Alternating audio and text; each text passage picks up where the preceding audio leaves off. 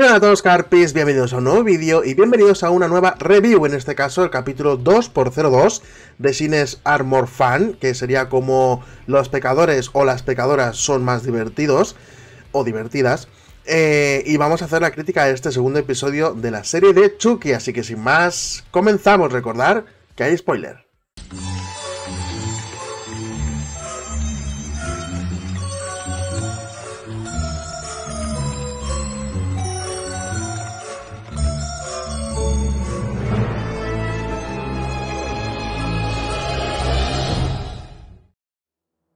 Pues bien, anoche emitimos el segundo episodio de la serie en Twitch. Ya sabéis que ahí estamos para ver los capítulos en cualquier idioma que salga. Ya sabéis, en inglés subtitulado, en latino cuando salga y en castellano cuando salga.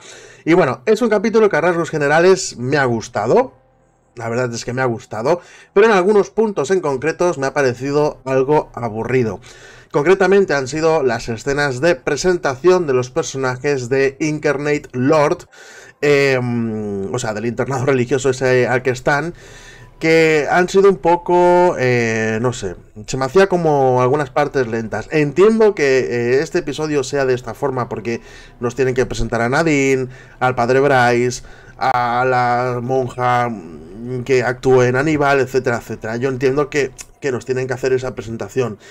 Pero eh, esas partes a mí me han sido bastante aburridas. Por suerte, este capítulo eh, está bastante bien en cuanto a las cosas que empieza ya a implementar dentro de la saga, a las novedades que nos empiezan a meter en este capítulo y sobre todo a lo bien que lo deja para el capítulo siguiente. Yo ya dije en los directos que en este capítulo no íbamos a ver a Glenn y Glenda, que el final sería eh, la aparición del coche y demás. Así ha sido, así se ha cumplido, así que Glenn y Glenda aparecerán ya de lleno en el episodio 3 eso, está clarísimo ya. Em, pero para mí sigue siendo lo mejor del capítulo las apariciones de Chucky, concretamente de este Chucky explorador, que ahora hablaré un poco de eso, y la aparición de Tiffany, sobre todo Nika, a la que se le ha dado un poco más de protagonismo y que ha tenido un giro que a mí me parece bastante interesante. Pero vamos un poco por el principio. Para mí el principio de este capítulo empieza bastante bien viendo a Tiffany como descubre la cabeza de la Tiffany que supuestamente mató a Andy en eh, su cama, mm, emulando una mítica película que me gustaría que me dejarais en comentarios si averiguáis o si os acordáis de cuál es, ¿vale? Ahí lo dejo como, como, como Keith para vosotros. Em, es una grandísima referencia, eso sí, pero eh, también hay mucho que explicar, porque lo de Andy pasó hace un año. ¿Cómo es posible que esa cabeza de Tiffany aparezca un año después en la cama de Tiffany, totalmente ensangrentada y puesta ahí? ¿O es otra muñeca Tiffany que se ha encargado? ¿O es Andy que sabe dónde vive Tiffany y les va a ir dejando en cada capítulo mm, cosillas para que se vaya acojonando o asustando? No lo sé, pero eh, para mí mm, no tiene explicación que esa cabeza esté ahí tras un año del accidente de Andy. Al principio parece ser un sueño, pero luego se descubre que no. Por lo tanto, mm, espero que lo de la cabeza tenga más explicación y no se quede ahí, porque actualmente, pues ya digo, no tiene sentido que un año después de los hechos de Andy, esa cabeza esté ahí, ya que, que sepamos, la única cabeza con vida Perdón, la única eh, eh, em, Tiffany con vida era la que estaba en el camión. Que sepamos, no se ha mostrado que hayan otras más Tiffany's con vida. Así que eh, un poquito raro es. Ahora, la escena como referencia, muy buena.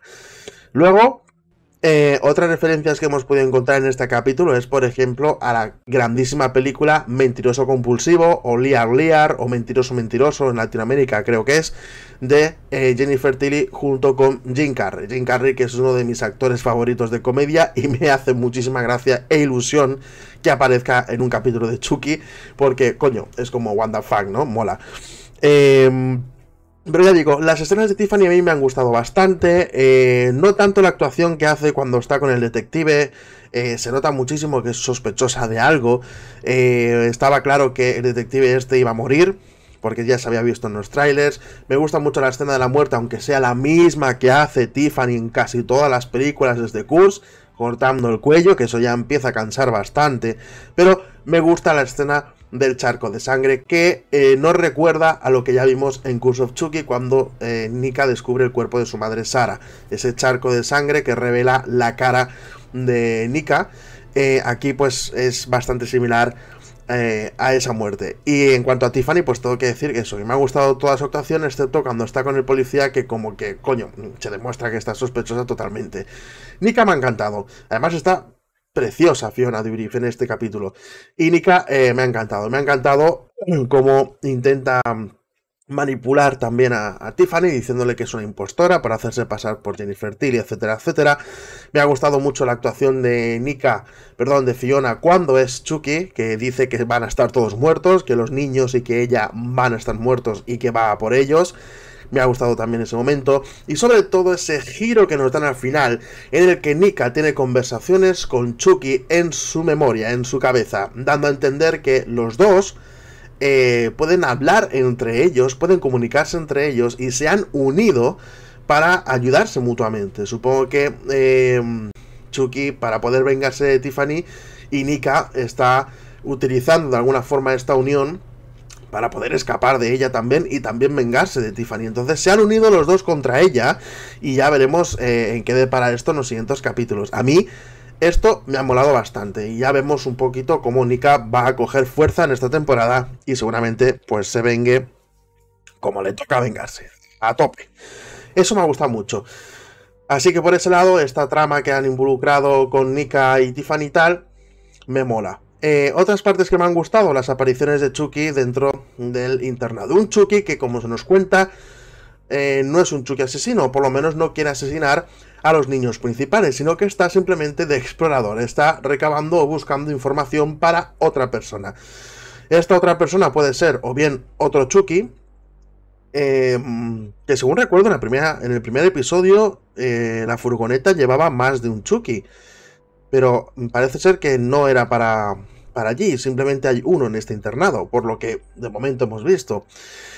Por lo tanto, este Chucky es un Chucky, como dicen, eh, investigador que está infiltrado para eh, pues, sacar información de los tres chavales y por eso no los quiere matar, según ellos, aunque en el baño sí que parece que hay intenciones de matarlos, pero en fin, quizás es porque ya ha conseguido la información que necesitaba. Lo dejan abierto para el capítulo siguiente en el que nos contarán quién es la persona que está detrás de este Chucky, es decir, quién está utilizando a este Chucky para que saque información.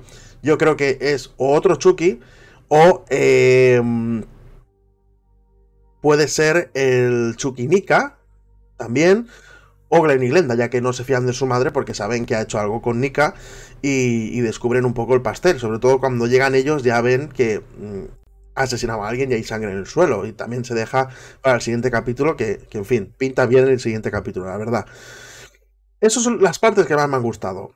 Luke en el internado y Tiffany Nika. Es lo que más me ha gustado, sin duda. La aparición de los gemelos, la, el, el giro con Nika unida a Chucky para vengarse con Tiffany y todas las tramas o mini tramas y secuencias que ha tenido Chucky dentro de ese internado. Me ha encantado, por ejemplo, cuando Chucky hace de vampiro con la monja, el guiño, como no, el guiño Muñeco Diabólico 3 con esa monja que le da el ataque al corazón exactamente igual que al sargento. Y, y, esas partes me han gustado. Es verdad que se nota mucho el enano que hace de Chucky cuando corre o lo que sea, pero en fin, se lo perdonaremos porque, porque no podemos hacer otra cosa.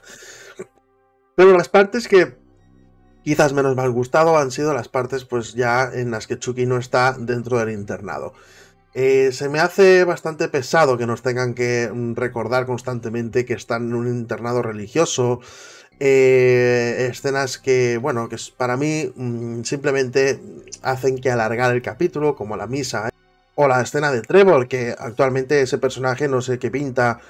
Mm, esperemos que tenga algo que ver más adelante, pero no sé qué pinta actualmente en la saga y lo único que ha hecho ha sido quitarme minutos de este capítulo.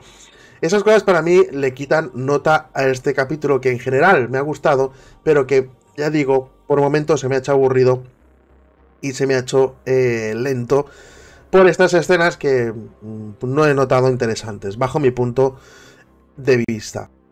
Entonces, como digo, a rasgos generales es un capítulo que me ha gustado, pero que para mí le bajo nota por esos momentos que me han aburrido un poquito. Así que en este capítulo, a pesar de que añade cosas que me han gustado mucho, pero el aburrimiento me ha podido, así que le voy a dar un 6,5 sobre 10.